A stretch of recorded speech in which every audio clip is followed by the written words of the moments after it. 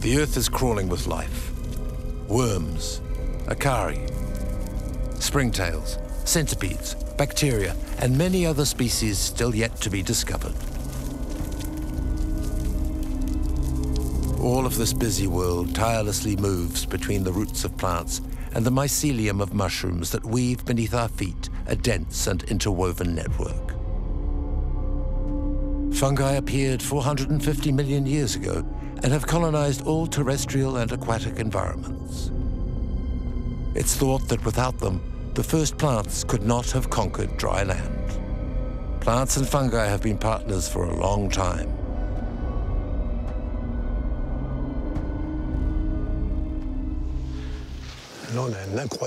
Here, we have an incredibly diverse range of decomposers. euh, Degrading fungi, which represent 40% of the forest's biodiversity.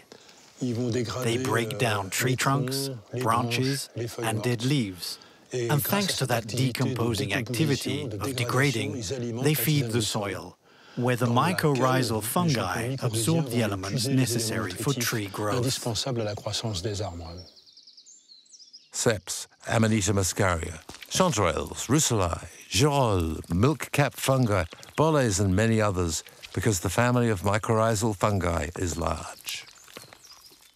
They are the fruit of underground organisms called mycelia, a network of filaments that explore vast surfaces in search of food.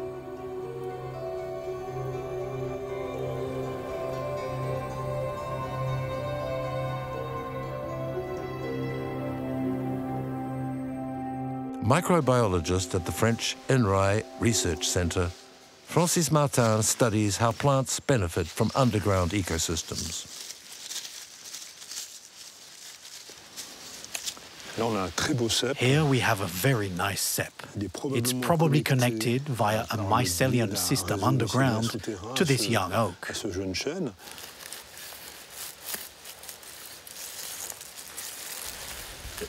Here, it's spectacular. You can see the mycorrhizal root lightly colored red, on en a une and then we have one here, orange, probably another un autre champignon mycorrhizal fungus installed on the root system. racinaire. Donc, ce chêne, il est en So this oak is interacting with dozens of different symbiotic fungi, forming mycorrhizal structures with different forms and colors, with probably different functions. One of the essential functions of these sleeve-like structures is to protect the roots of plants from springtails, roundworms, and other tiny little creatures that seek to eat them.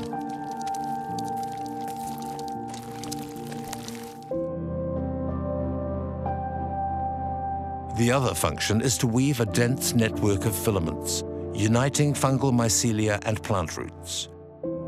This network bond prepares the soil as it contains nutriments necessary for both plants and fungi. What is surprising is that the health of this forest surrounding us depends on this little structure we call mycorrhiza, symbiosis between plants and fungi.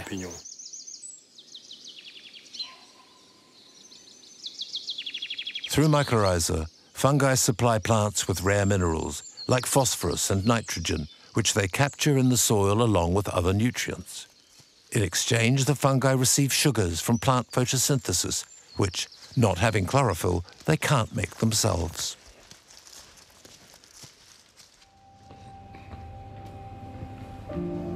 Laboratory observation by confocal microscope allows us to understand the symbiotic fusion of the mycelium filaments and plant roots.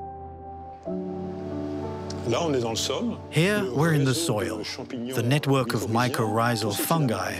All these green filaments la totalité de la colonize the whole of the root surface in red and end up by forming a mycorrhiza cap, here in green.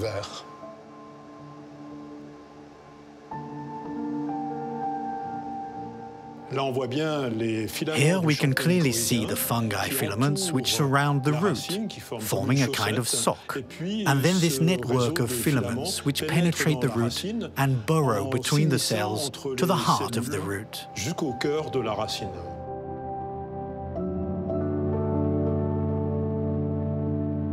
Through this fusional connection with the mycorrhiza, plants make close and fertile bonds with many fungal mycelia and with very many and varied colonies of bacteria.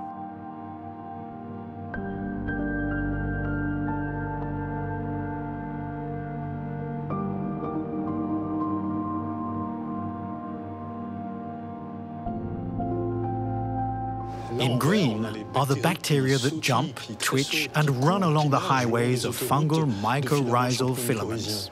This allows the bacteria to move a long way, which they couldn't do without the fungus. The bacterial population that proliferate in the soil are to plants what intestinal microbes are to humans.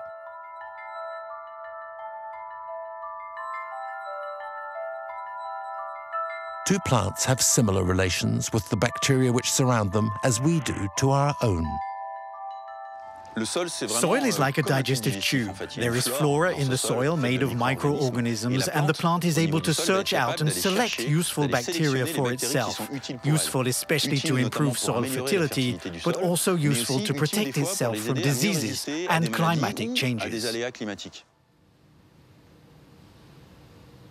To appreciate the influence of bacteria on the development of pulses, like for example corn or beans, the French INRA Centre has built an entirely automised experimental platform.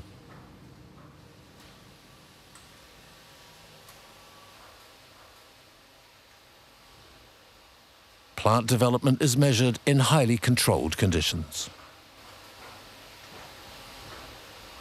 Lionel Ranjard and his team grow corn plots in pots filled with soil where the number and diversity of bacteria is precisely dosed. Through very high definition cameras, the pockets of bacteria are easy to quantify and qualify in the images.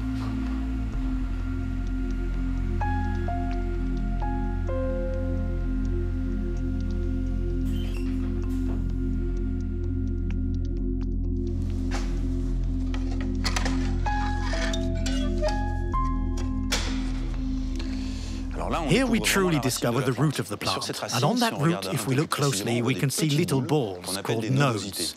In these nodes are millions of bacteria, which are raised by the plant. And in return, these bacteria feed the plant because they are capable of capturing atmospheric nitrogen, nitrogen in the air, and transform it in a way that the plant can assimilate it. It's a win-win partnership. The plant feeds the bacteria, and the bacteria feed the plant.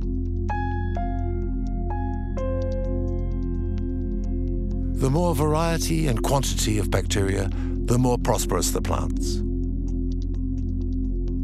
The shape and dimension of the pockets vary according to the type of plant. In the same way that the mycorrhiza secrete hormones to attract fungal mycelia, the root nodes secrete hormones to attract bacteria.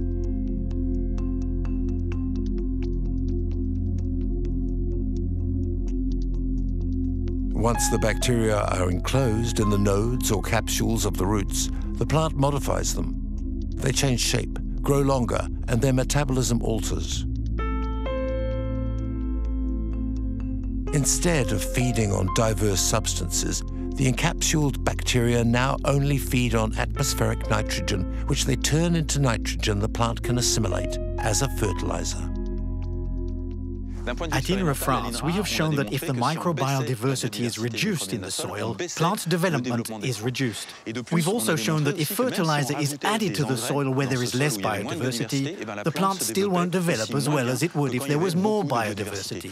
So if we compare fertilizer to biodiversity, it's better to have a more biodiversified soil than to add fertilizer.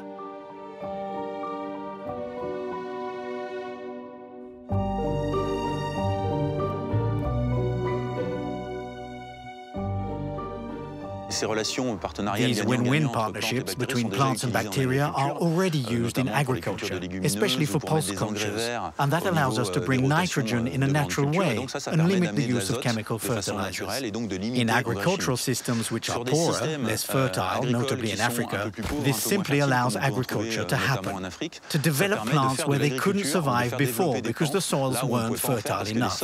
And one of the first applications is the development of the Great Green Wall in South Sahel, which has allowed a whole zone to be euh, reforested, limiting the expansion of the desert.